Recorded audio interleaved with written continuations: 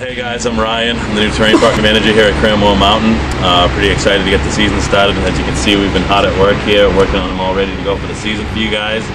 Uh, pretty excited to get here. I've been in Colorado for the past six years, making parks up there, and I'm uh, really excited to get back here to the East Coast where I'm from and get started here at Cranmore. And hopefully, we can get some snow going for you guys, get the rail jams going for you guys too.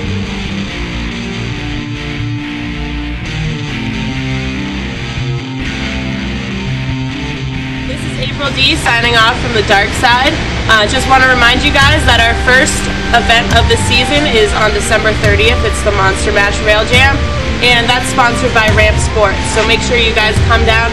Registration starts at 8, like it always does every year, so hopefully we'll see you guys there.